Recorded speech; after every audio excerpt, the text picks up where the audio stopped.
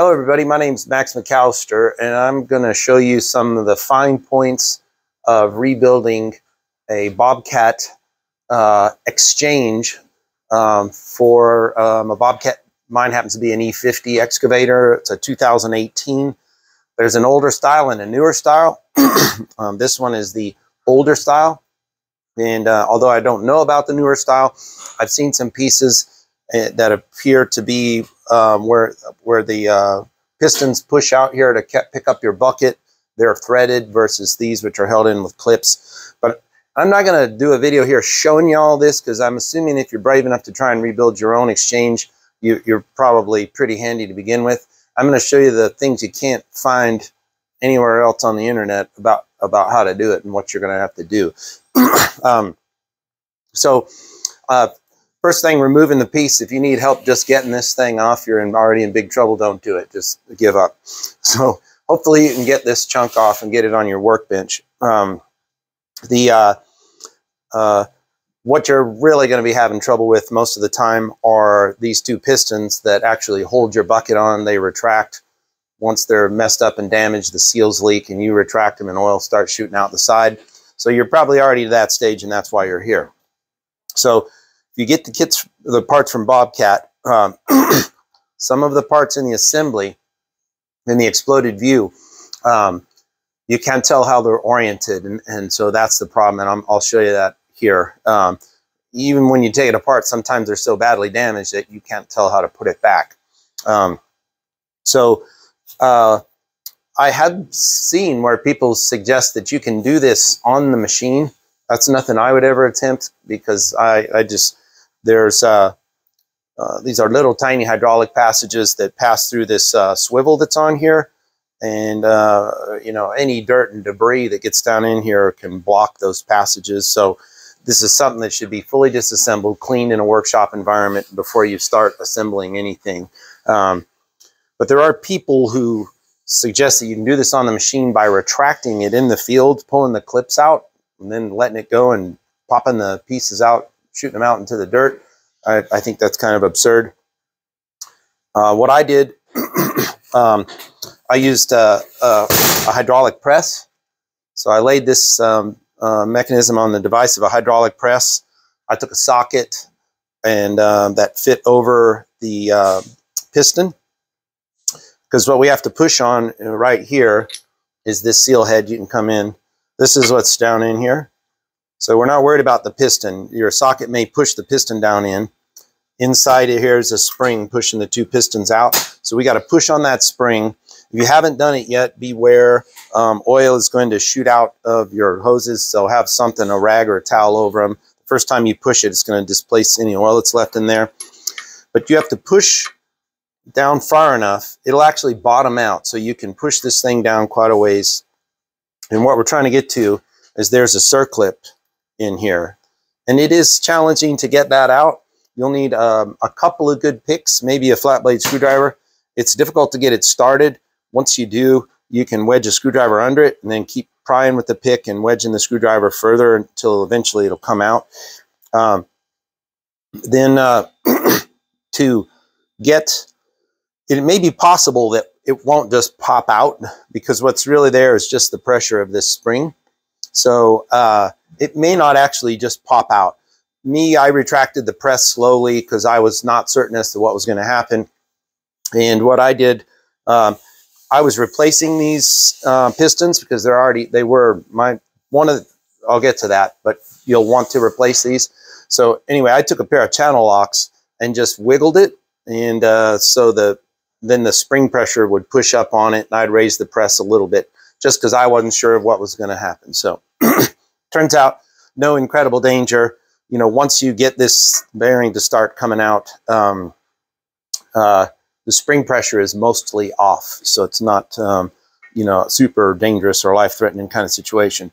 Um, now, I did have to use quite a bit of force to get that, uh, to get the seals to the external seal here to pop up it's got to pass through that circlip groove. So um, you got to be able to pry it. So being able to rock it and walk it and twist it, all that kind of stuff, eventually it'll pop out. Now, There will still be oil down in this cavity. So you'll want to, at that point, turn it over and let that ball pour into some sort of a cup or a bowl or whatever to get the 90, you know, get the 95% of oil out of it so you're not just oozing oil all over your workbench. all right. At that point, um, once you have, um, you've gotten one side out, um, the process to get the clip out is the same. You're to, you, at that point, this spring will just lift out. You'll turn it upside down um, now you can just tap the socket. You don't need a press because there's no spring pressure or anything left on the other side. Put your socket, just tap it with a mallet. Take that circlip out. Once you do that, you can stick a, um, a long 3 8 extension through the device and just smack this whole thing out the other side. The second um, piston and bearing assembly out the other side. Just knock it out onto your bench. um, now, uh, at that point, um, I took this had a lot of you know there's a lot of stuff inside it you know can be corrosion and stuff even though it's oil and all that so uh, on mine I happen to have a nice flex hone that happened to fit that bore I just gave it a few quick passes to clean up inside it where o-rings and things had been setting and the piston had been in there and there's little you know corrosion around the circlip groove clean that up nice um, both sides. And then I spent, you know, quite a bit of time flushing through it to make sure that there's no grit and debris or anywhere left in this assembly. Um, by the way, you want to get this clean. it, it is going to be a pain in the butt. Um, I did as much pressure washing on the machine before I took it off as I could. Then I cleaned it further in here because I don't want even one crumb of dirt to get into any of this hydraulic stuff. So I got this all prepped up and cleaned and set it to the side. um, you can come over here and take a look uh, you will want to, whether you know it or not, replace all these parts. So some people would just try and put this, replace the seals here, but your, your problem is the buckets actually uh, swivel right on these pistons. So this is called the piston. This is uh, a bearing or a seal head. All right. So your bucket's actually riding on this thing and taking all the force. It gets visibly worn down. I mean, you can see that this thing is no, this is, you know, the proper height when it was new. This thing is just grooved out and, and, uh, and ground down. That one is much, much worse, right? So, I mean, you can, you don't even have to measure this to see that it's clapped out. The next thing, because your bucket's getting, you know, pushed and pulled and pushed and pulled with tremendous force on this, um, the, the, the bearing itself wears out. So this thing is incredibly wiped out and sloppy. And so because of that, um, that accelerates seal wear. Every time the bucket is torqued one or the other, this extra added mechanical space is just bad. And then this is so worn down here, as soon as you retract this in and it goes past the first seal, I, I mean, it's not even hardly touching anything anymore. I mean, look, look at this. So at that point, you know, it has to retract this far so that you can get the you know, get your implement off. This thing is just rattling on. There's no way it's going to hold oil, never mind oil under pressure. So the seals and all this have failed. You just have to replace all this. If you've if you've gone to if you got it this far apart, buy these parts. You're you're crazy if you don't. Now, um, so then comes the question of seals and orientation and how everything goes together. Um, this piece on the piston, you can't really mess it up. There's an energizer behind the O-ring that rides behind it. It's obvious. Its diameter dictates that it goes there. Same thing with the O-ring. Those you can't really screw up. Um, you know, put those together and, and, where they go. So that those go on the piston. That will be pretty obvious. You can't screw that up. Everything on the bearing you can screw up. Um, so you need to pay attention. Um, on the outside of the bearing, there is um, a flat rubber uh, seal uh, by the way, mine, somebody got in one side of this, put all wrong parts in it, and um, it was it, it's a mess. But this is the stuff that just gets absolutely shot. So there's a flat black rubber washer, which is titled, it's just titled ring as a part uh, when you buy it on the on the parts explosion. That part goes on the upside closest to out, and the big O-ring goes under it. So they are oriented in this fashion here. They sit on top of each other, sandwiched, and they ride in this groove. So the flat black rubber washer goes up and out towards the towards the circlip. All right. so that's problem number one. Next, there are two um, uh, pressure seals that ride inside of the bearing. One is pink in color. Um, the other one's black. Uh, again, you'll be able to find these by part number when you're when you're looking at your blow up. I suggest you print that off the internet and have it in front of you. But the black one goes up in the in the assembly towards the um, uh, towards the circlip. All right, and now here's the million, and the pink one goes down in the bottom. I suggest if you haven't done this before, start with the bottom one first because these are tricky to put in. And as you put them in, they fit very, very, very difficult to get in. And one section of it wants to roll. So you'll get it in as best you can. And then you're going to have to just keep working it with your finger to get it to roll and orient properly into this correct orientation. Um, the big question that's you, that's the money, the million dollar question is which way do these go?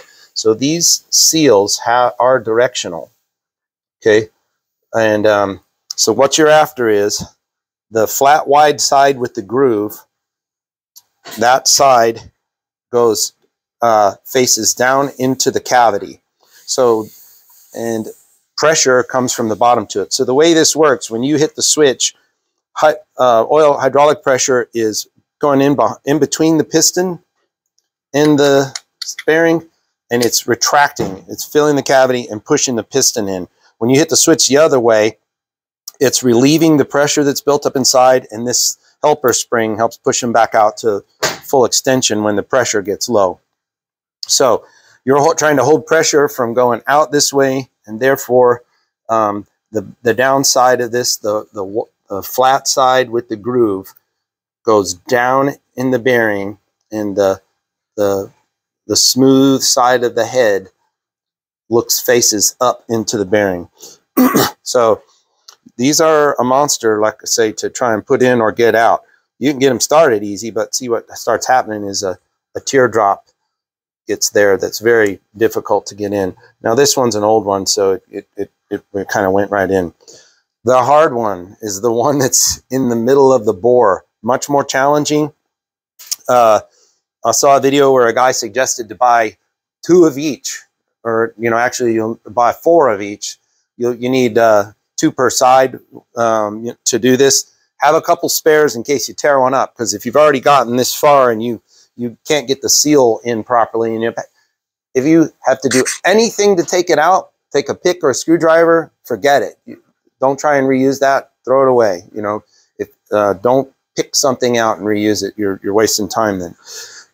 so that orientation is the trick. Um, these fit together incredibly tightly when you have a new piston, a new bearing, and new seals very, very tightly. So grease everything nicely.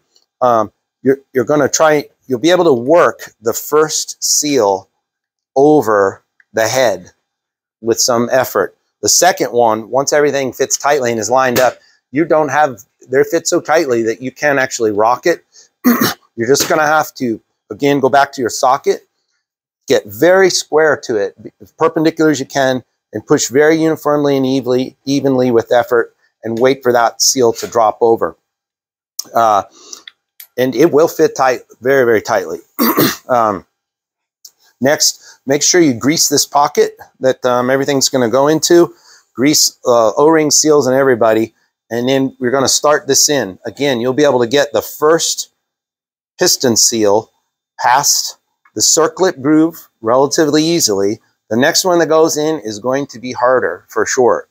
um, you may not even be able to push it in yourself um, with just even maybe your your body weight. Uh, but it is, if you take a long extension on your socket, you can toggle it slightly I put the whole thing on the floor and I, I bear down on it with my body weight and I toggled this extension a little bit and got it to kind of rock in.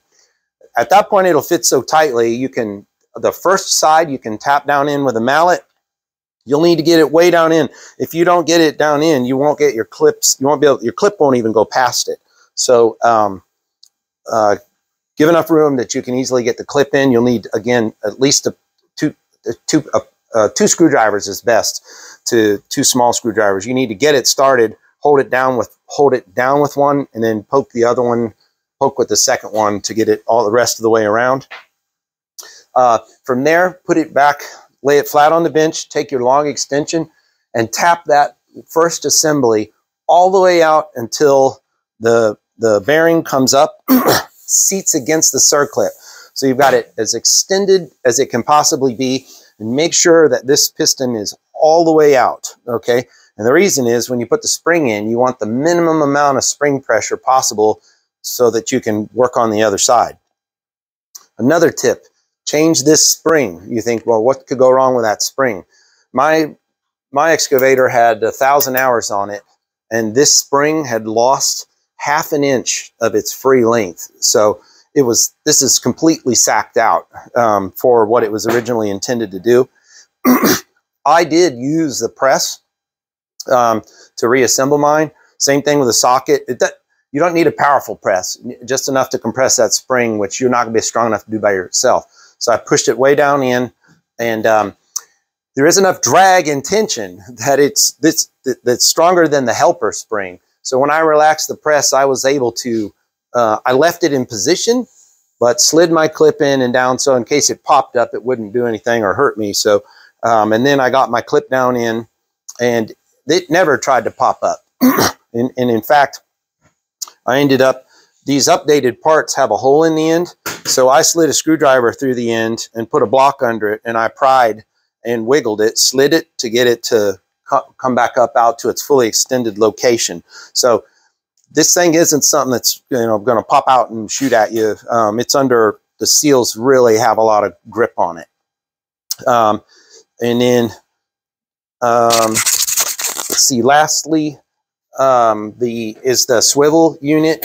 I did replace the O-rings in that while I had it off and apart. I cleaned it. Um, this is a whole different assembly, and that's a whole different monster to rebuild. So I'm not gonna I'm not gonna go into that. Uh, but there are two O-rings, a smaller and a larger one under here. Make sure you buy those and take this off while you're doing this job because you you have to spray through all those passages. Make sure there's no grit, no dirt, no debris. Change those two little O-rings um, and um, while you're in there because that's just uh, smart money. Uh, um, the mine, I also found my hoses were had a lot of rub on them and wear. So they hadn't burst or leak, but I changed them. At the same time, I even bought the, there's a protective uh, canvas sock. It was $5. Um, so I bought brand new hoses and the sock. And the other thing I'm going to be able to fix on mine now that I've studied it is, mine is always, I bought it secondhand, my excavator. It had 900 hours on it. Somebody had obviously worked on this because they put wrong parts in it that blew out and they put a flat clip instead of a circlip in it. And the, so mine was extra messed up. But uh, they had reversed my hoses and I never understood why it made no sense to me inside the machine. When I pushed the lock button, my pistons retracted. And when I pushed the unlock button, they went out. That seemed wrong to me. So now I'll be able to know that I can just reverse my two hoses. The two hoses are an identical part number. So um, you can, um, they can interchange. And if you wanted to buy a third one to have a new spare, just know that it's all the same part in case you ever nick one or tear one, then um, and it, you won't, you don't need to buy a left or a right or an in or an out or anything. So uh, that's the fine points to uh, replacing the pistons and seals in the uh, Bobcat e uh, uh, X-Change older style. Um, hopefully this is helpful. Um, it's I went through a lot of trouble finding this information because nobody could tell me which way seals and everything went. If this video is helpful, hit the super thanks button. It gives you a chance to help uh, people that give you useful information on on uh, YouTube. Uh, you can throw them two bucks or five bucks or whatever. And uh, if it, if, it, saves you money and helps them out. So um, if you like this video, give it a thumbs up. Don't forget to uh, share. And I appreciate you watching.